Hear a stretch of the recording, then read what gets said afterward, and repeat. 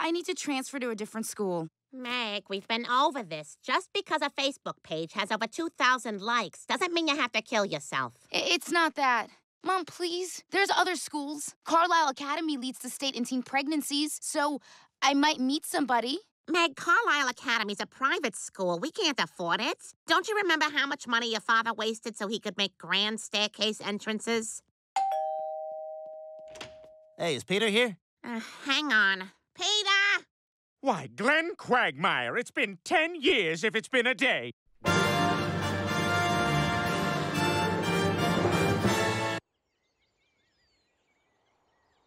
I figured out how to get out of this fight. All I have to do is get expelled. That sex tape I released should be everywhere by now. And then they'll have to kick me out of the school. Ugh, come on, really? Ooh. You know what? Good for her. Hey guys, you four are pretty much the toughest guys in school, right? What would it take to get you to beat up Mike Pulaski? Mental Mike? Are you kidding? Come on, guys, I'll do anything. I'll, I'll give you a swallow Friday. You mean a follow Friday? Oh, I've been doing Twitter all wrong. Okay, okay, I'll, I'll just pay you. Oh, yeah? Well, you're looking at a thousand bucks for something like that. A thousand dollars? Uh, right, but it's gonna be hard to get that kind of money. I mean, I'm not Judge Judy. Hi, I'm Judge Judy. I get paid $45 million a year to yell at people who have nothing. Now, here's an ad about a fat people disease you have.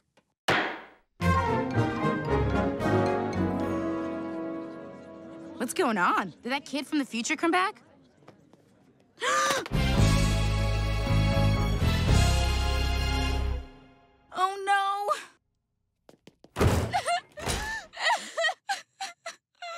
Meg, are you okay? You guys, I've tried everything, but it's hopeless. He's going to kill me. I can already picture my funeral. Thanks, didn't want to pay for the hole. This is such a nightmare.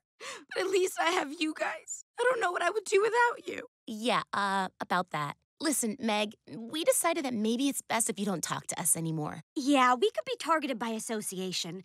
I don't want to get beaten up by a guy unless it's in a limo after prom. So, you're all gonna ditch me when I need you most? Yeah, Meg, it's natural selection. This is how it works in the wild. Hey. Hey, how you doing? Hey there. Hey, nice spot, huh? Oh, yeah. Oh, yeah, it's great, especially because of that thing over there. You know what's in there? Corn. Really? Wow, I could go for some corn. You're dark, Raj. I don't care. Good luck, Meg. Now we must retreat into the shadows.